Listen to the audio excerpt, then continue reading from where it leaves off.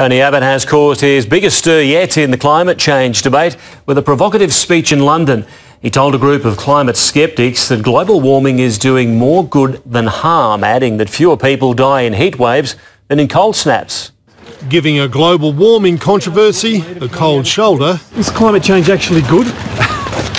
this is a, uh, a great day after Tony Abbott told climate skeptics in London climate change itself is probably doing good, or at least more good than harm. Speaking to a group led by former UK Chancellor Nigel Lawson, a leading climate skeptic. It clearly is good for the planet. Highly critical of the science. This is madness, but it's not merely madness, it is also wicked. Mr Abbott likened those pushing for climate action to primitive people who once killed goats to appease the volcano gods, adding, I observed that the so-called settled science of climate change was absolute crap, saying the answer to Australia's energy crisis was not more renewable energy but that there must be a government-built coal-fired power station. Mr Abbott was speaking at the same venue where Mr Turnbull gave him a whack earlier this year. The PM today couldn't get away quickly enough. Well done. Okay, thanks a lot.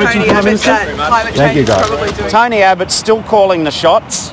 Turnbull's just simply too weak to take him on. Mr Abbott did have some faint praise though, backing the government's decision not to proceed with a clean energy target.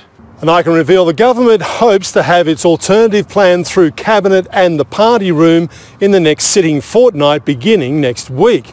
Ministers tell me it will have a heavy emphasis on base load security and retail pricing and be as much about reliable energy as renewable.